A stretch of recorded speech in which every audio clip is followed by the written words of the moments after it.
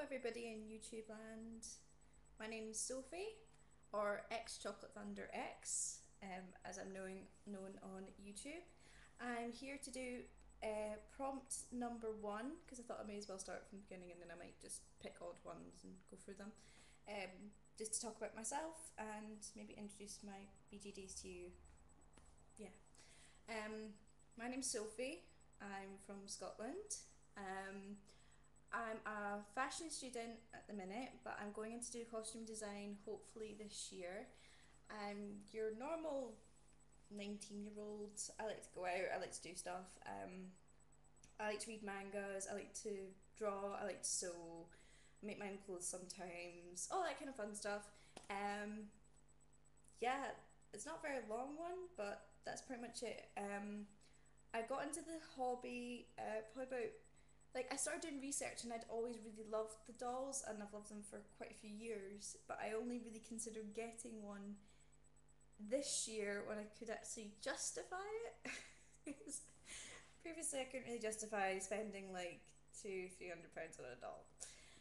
But this year, since I was like looking into doing sort of smaller scale um, mock-ups of clothes i was like well i want something to put it on. I don't want to just make something and have it just kind of sit there. I want to be able to show people that i can do things. So i was like well i could maybe consider getting a ball jointed doll i could get a mannequin.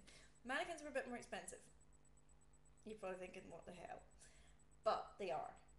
I, I was looking into getting like quarter scale ones and they're like 300 odd pounds and they're not as fun as BJDs you can do face ups on BJDs and do their hair and all that kind of fun stuff. So I was like, I'm going to go for that because it means I get a lot more fun with them.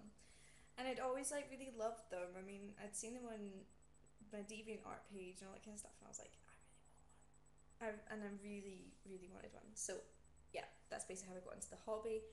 And I love it. I really love it. I love being able to do face ups. I love the wigs and changing the eyes and you know just making clothes. I adore it. Um, and as you know, if you've seen any other, like my video I've just put up, I've got a new little Hujoo Berry called Yumi.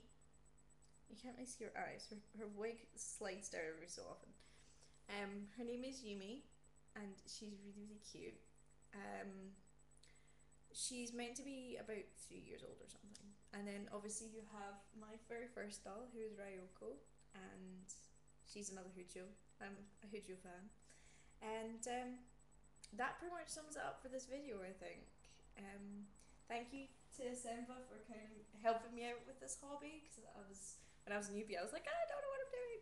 But um, she's like sent me some really nice videos and all that kind of stuff, and it's really helped me out. And thank you to everybody on YouTube for kind of helping me out when I don't know what I'm doing. Um, thank you to my subscribers and all that kind of stuff. Okay, see you later. Bye.